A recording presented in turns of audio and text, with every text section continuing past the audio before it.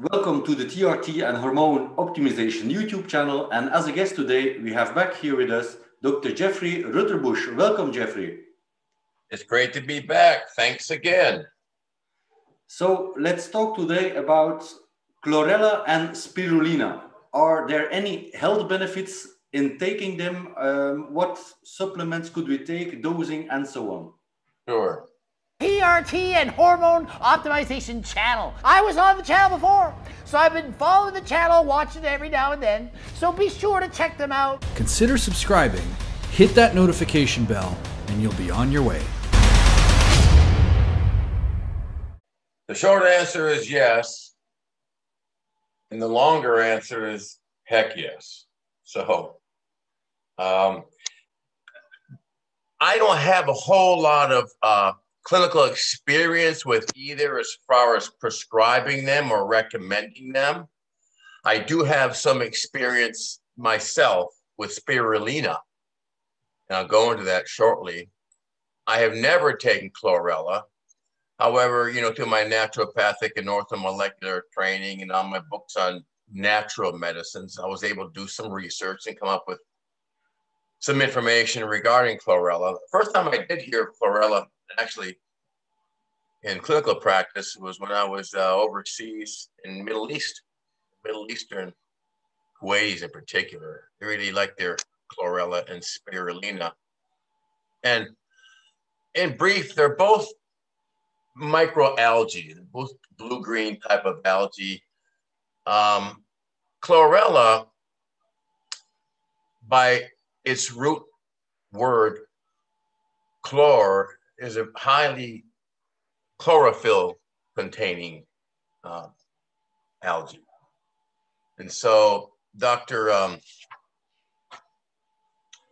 Robert Atkins in his book, Vita-Nutrient Solution, which I refer to often, even though it's getting somewhat dated, it still is a plethora of great information on, on natural therapies. And he mentions that chlorella uh, is the highest plant-based food source in pantothenic acid.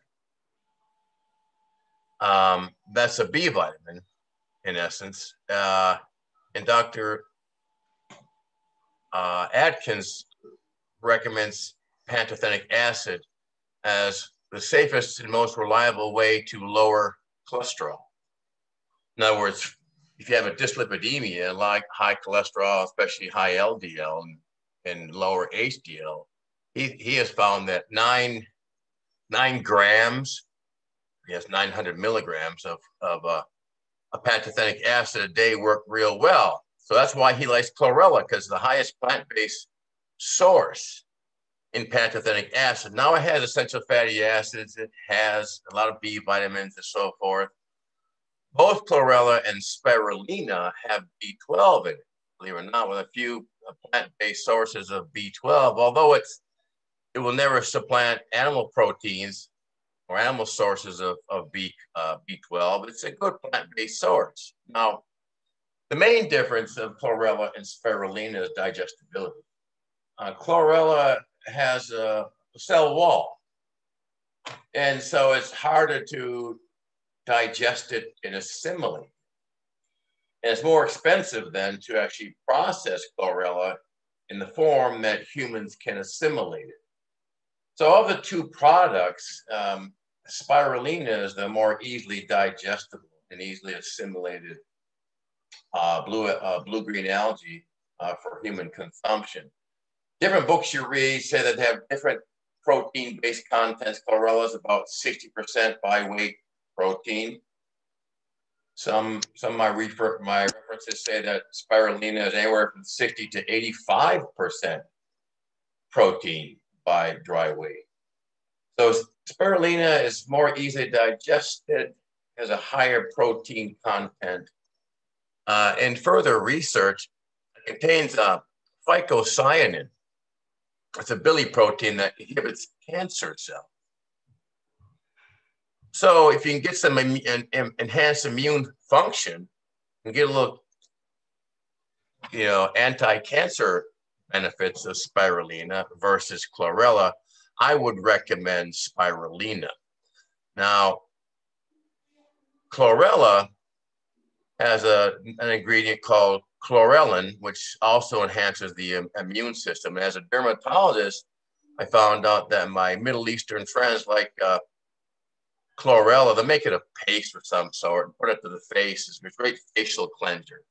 All these chlorophyll-based plant substances are great detoxifiers, blood cleansers, liver cleansers. But again, of the two, the fact that spirulina has a higher protein content per dry weight, and to put it in perspective, beef, roast beef, has 20% protein by, by weight. Spirulina has 85%. And lastly, in my research to, uh, recently, even the space program, SpaceX is looking into uh, providing astronauts with spirulina as a plant-based method to deliver high quality protein uh, while in space flight. So again, and so what is a good dose of spirulina? Research indicates that one to two teaspoons per day. It comes in tablet form. So six to nine tabs per day, one or two teaspoons today, uh, to, uh, per day uh, for the uh, benefits of, of spirulina. Uh, I don't have dosing uh, information. Oh, there I do. I, I, miss, I misspoke. Five grams daily of chlorella for three months has been shown to have the most therapeutic benefits for cleansing and detoxification. So chlorella at five grams per day for at least three months, spirulina at six to nine tabs or one to two teaspoons per day for some period of time. So that's what I have short, sweet for chlorella versus spirulina.